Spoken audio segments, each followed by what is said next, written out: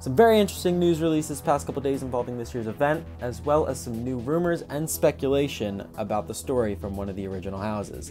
So let's get into that right after the intro.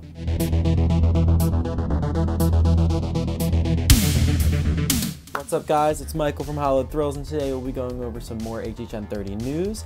First off which is coming from Instagram slash Twitter user Horror Nights ORL fan, and he posted this picture on both of his Twitter and his Instagram. And if we take a closer look at this image, you can see that this is indeed one of the bay doors open from the old parade building. So as many of you may know, the old parade building last year was used to house graveyard games, and as you can see, there are new walls going up inside of the building, indicating that for at least this particular house, the construction is continuing as planned, even though that there are park closures due to the current pandemic. Also, this is a fairly recent picture as it was reported to be taken by an insider on Monday, April 13th. So this has me very optimistic about the future of this year's event and it seems that it will still be continuing as planned. So next up in the news, our final permit filing was filed today for Universal Orlando that shows a permit for the use of the Shrek 4D Theater to be used as a house location this year. Now, this goes against the current speculation map that I went over the other day, but that does not mean that the Cafe La Bamba location is completely ruled out for this year's event, as there were still permits filed for this location. And honestly, at this point, it's up in the air as to which location will be used, whether it be the Shrek 4D Theater or Cafe La Bamba. Um, and there were rumors, rumors speculating at one time that we're surfacing that we may possibly have an 11th house this year, which would mean that both locations would be used, the Shrek 4D Theater and Cafe La Bamba. But those are just simply rumors, and at this point, I don't really agree with them. I believe that we were only going to be getting one of those uh, locations being used, whether it be Shrek or Cafe La Bamba. And at this point, with the current situation that the world is in, I'm expecting that it's just going to be the same 10 houses that we normally have had the past couple years.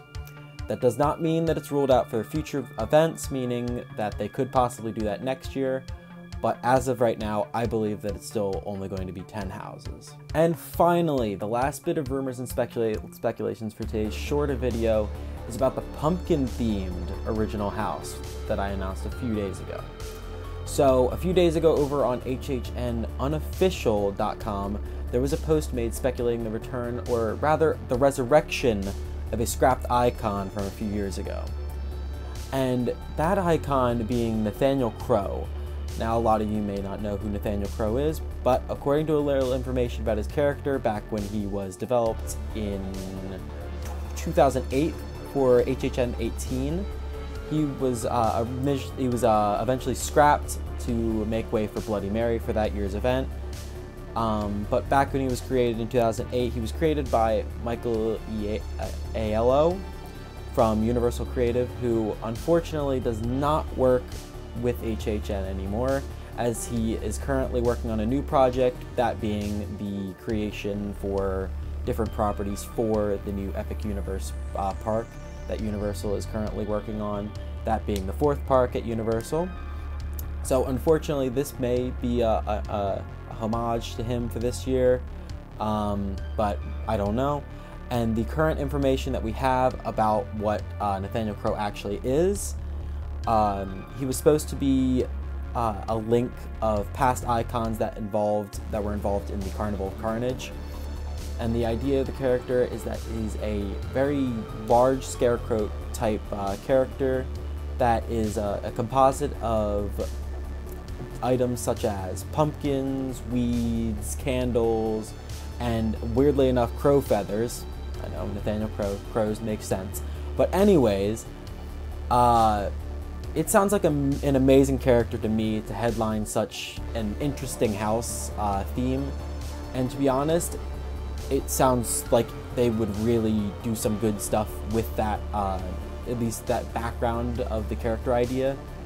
Uh, and to be honest, the description of him just fits right in with the theme, and it could easily be worked around um, as such.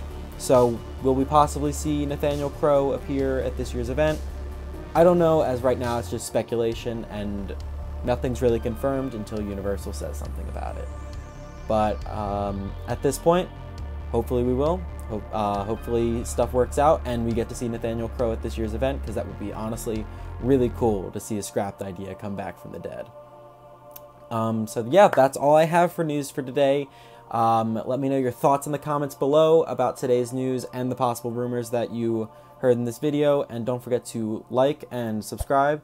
And don't forget to hit the bell notification icon to get notified whenever I post a video. And as always, I've been Michael. This has been Hallowed Thrills, and I'll see you guys next time.